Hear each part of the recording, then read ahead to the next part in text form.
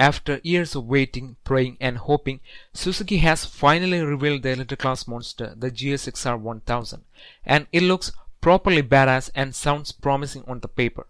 The new Suzuki has come loaded with equipments to make you a faster and better rider on street as well as on track. The new GSXR has got launch control, 10 levels of traction control, bi-directional quick shifter, Showa balance free forks, and the list of goodies just goes on. While the electronic gizmos like traction control and bi-directional quick shifter will put this beast on par with the competition, the thing that really sets the GSXR apart from the rest is the new variable valve timing derived from the MotoGP bike.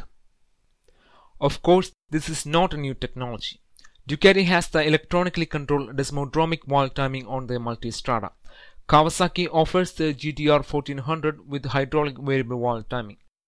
But the key factor that differentiates the Suzuki system is that it is completely mechanically controlled.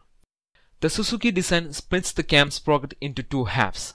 One half carries the sprocket itself, the other attaches to the camshaft, and these two halves can rotate relative to each other for a few degrees. Instead of using complex electronics or hydraulics for the controlling purpose, this system has radial grooves machined onto the inner face of each phaser's halves, into which the steel balls are placed. Those balls move outwards under the influence of centrifugal force as the RPM increase.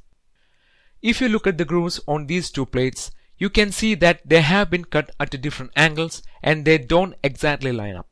As the ball moves towards the outer edge, the two half of the phaser will rotate in relation to each other since the grooves on one half is cut at a certain angle. This will retard the valve timing. These grooves get shallower at the outer edge on both the plates.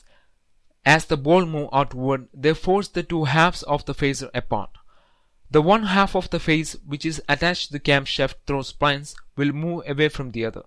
This will retard the timing and will give a better top end power. At the lower RPMs, the spring that keep both the halves pressed together overcomes the centrifugal force acting on the balls, pushing them back towards each other. This will shift the timing to its advanced position boosting the low end power and improving the throttle response.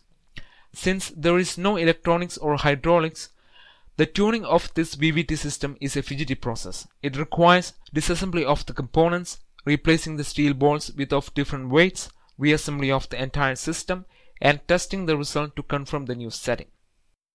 So that's pretty much how the Suzuki's racing VVT system in the new GSXR works.